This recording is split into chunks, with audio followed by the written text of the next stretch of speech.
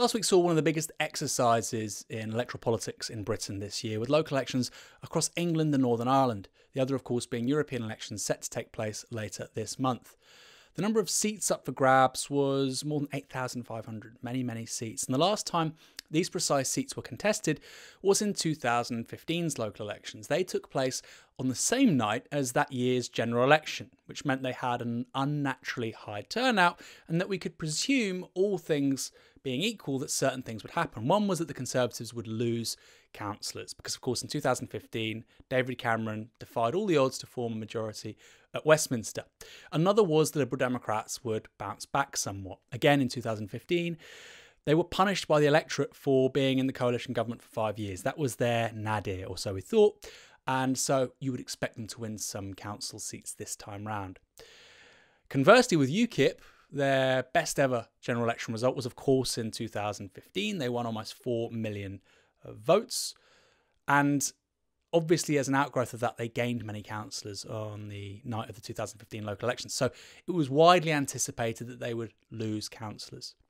At the same time, people generally presumed Labour would pick up councillors at the cost of the Conservatives, and that the Greens, because they'd done pretty well in 2015, would probably just stay still. Now, some of that happened, some didn't.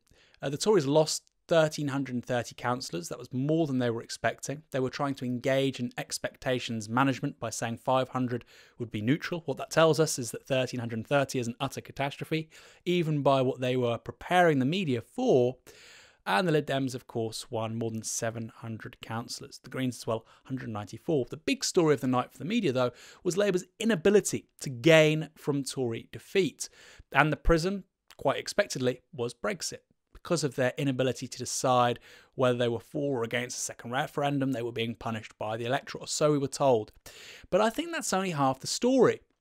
And while Labour did lose 80 councillors, if you look at where they lost them and where they gained them, things begin to look a bit more optimistic in regards to them forming the next government at Westminster.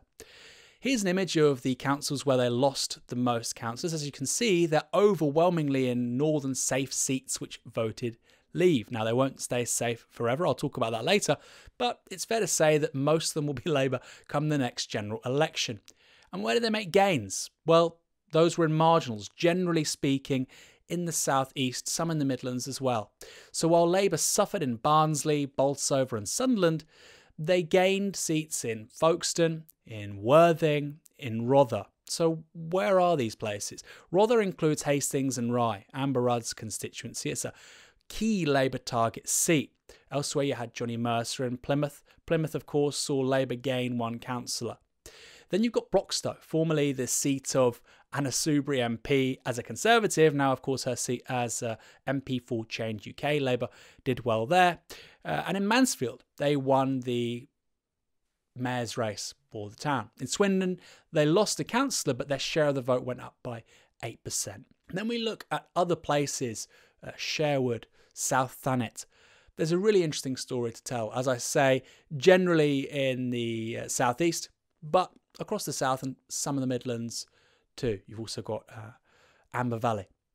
So, in terms of forming a government, in terms of being the largest party after the next general election, if not forming a majority government, these were a pretty decent set of results for Labour. Now, what do they mean for the Liberal Democrats? Of course, at face value, winning more than 700 councillors can only be good news. But when you dig a bit deeper and look at their share of the vote, it's not perhaps as good as one might initially suspect. They won 19% of the vote, Uh, less than both the Tories and Labour. But what's interesting is that that's only a percentage point more than what they won in the 2017 local elections. And as history tells us, they were only little over a month before the 2017 general election, where their share of the vote actually went down on 2015. So, in and of itself, these local elections shouldn't be much of a guide for the prospects of a Lib Dem hashtag fight back.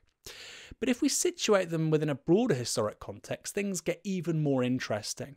Between 1997 and 2010, the Liberal Democrats averaged around 25 26% in local elections. So even four years out from being punished by the electorate for being in that coalition government and with the rocket fuel of Brexit, they're still not going back to that historic trend.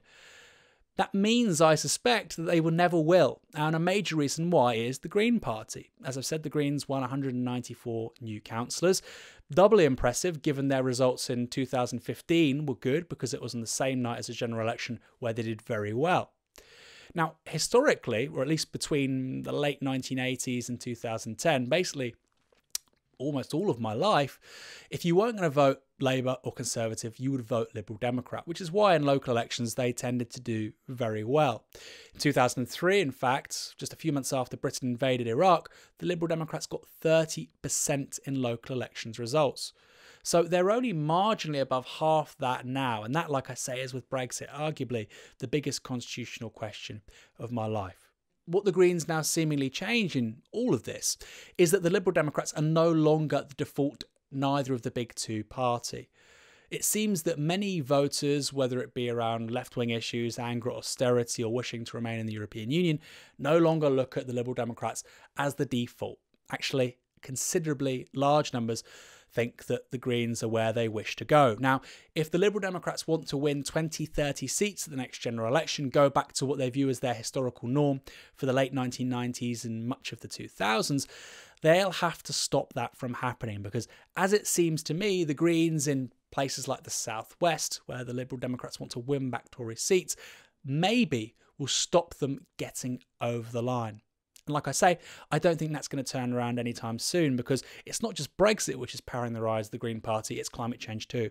And as we've seen with Extinction Rebellion and Parliament passing emergency uh, legislation to call a climate crisis, that will only be a bigger issue over time. And I think the Greens will benefit primarily at the cost of the Liberal Democrats when it comes to local elections. Then we've got the Conservatives. In any year, losing 1,330 councillors would be bad news. But I think even those numbers don't quite tell you how bad a story it is.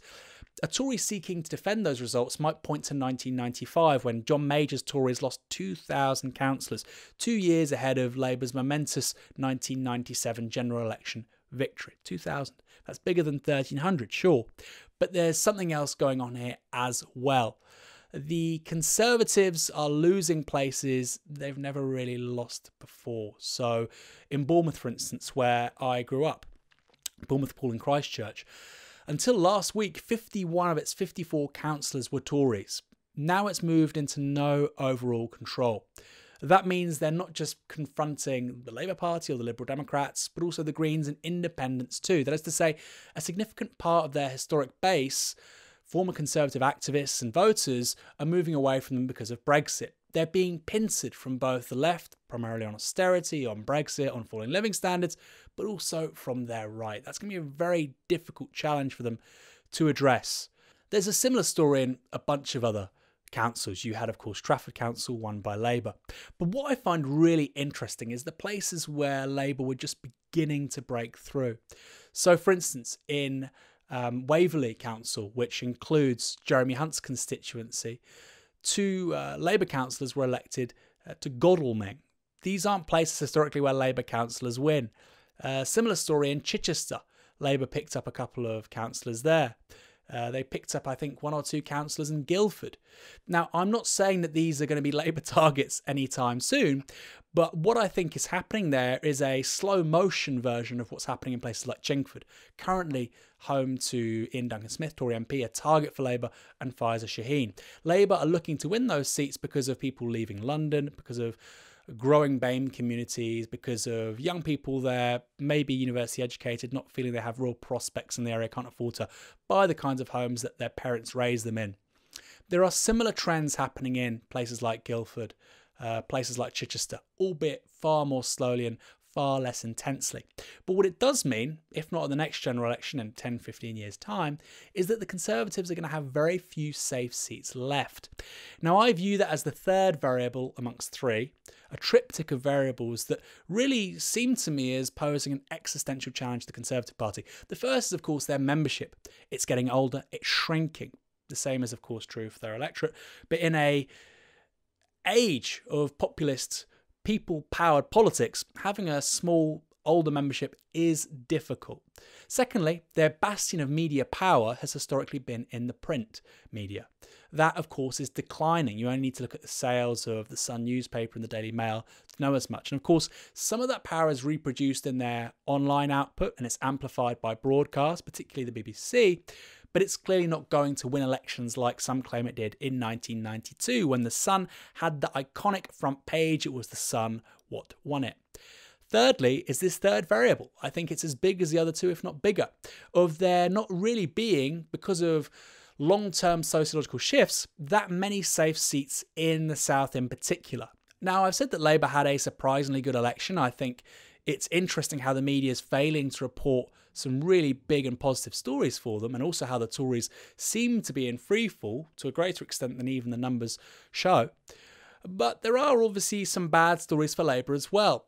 Four years into the Corbyn project, it still doesn't have much of a vision for locally based municipal socialism. Yes, there's the Preston model, and that really should be at the forefront of the public conversation far more than it is. But generally speaking, Labour and particularly Corbynism's theory of change is winning power at Westminster and using the national centralised state to affect socialism. I don't think that will work. It's useful, and it, as I've said, is increasingly likely, but in isolation, it's insufficient. A good place to look here by comparison is perhaps Barack Obama's United States. Obama, of course, won his first presidency in 2008, his second in 2012. That decade, or eight years, was presumed by many to mark a shift in American public life, changing public attitudes around same sex marriage, abortion, uh, narcotics, drugs, even foreign policy and yet Donald Trump wins in 2016. A major reason why is that the Democrats got high off their own propaganda, fundamentally. They had executive power, but they didn't control the House, the Congress. At the same time, the Democratic Party was being hollowed out across the country at a local level. And Corbynism cannot work if the Labour Party just has a small majority in the Houses of Parliament, in the House of Commons. It can't work. It will need a very large majority simply by virtue of resistance from within the party, because the establishment runs as much through Labour as through anything else. But also, it will need to have examples of how to create 21st century socialism at the local level, which offer prototypes for elsewhere, much like how the NHS was based on. Uh, public insurance programs amongst miners in Wales. So I think uh, a Corbynism without a local aspect will inevitably fail. And as I've said, what these local election results tell us is that four years into Corbynism, we still don't really have a model of what 21st century local socialism looks and feels like. An addendum to that is seats like Barnsley, Sunderland, Bolsover. And as I've said, these aren't going to not be Labour at the next election. Bolsover's quite close, but generally speaking, they're safe Labour seats. Uh, and yes, they skew the picture a bit in terms of national performance this time round, but it doesn't mean we shouldn't talk about them. Uh, Craig Gent wrote a great piece for Novara Media about Barnsley, uh, and I agreed with much of what it said. We need to win these places over on the left by transforming their economies, by flooding money into public services, transforming high streets, transforming ownership, of course, all of these things. But as much as an economic offer, they also need a social and political offer, and where they sit and fit in 21st century Britain. This is a country which has had an over centralised tendency now for centuries. And London plays an ever larger part in the national conversation and the popular psyche. But that's increasingly dissonant from the everyday lived experiences of tens of millions of people. And that's something which often goes over the head of commentators based in London. So I think Labour needs a vision for municipal socialism, and it still hasn't got one. And I also think it needs to create a story for places which might be referred to as its historic heartlands, which is very much a modern one, which isn't nostalgic and which is optimistic about a better tomorrow. The good news is, I think the Tories really are facing annihilation. At the next general election, they might lose big, they might lose small. But as I've said, the longer term shifts in regard to print media, in regards to voter demographics, and as we've seen last week, in regard to a ever shrinking cluster of safe seats, doesn't bode well for one of the most successful political parties in modern European history. So, conclusion is this mixed bag for Labour, but far more positive than the media is saying, particularly if we want to look at who's going to form the next government. At the same time, it's clear that one of the biggest challenges Labour faces is building a compelling vision of 21st century socialism at a local level and one that is also culturally resonant with places which aren't London and which aren't the South East.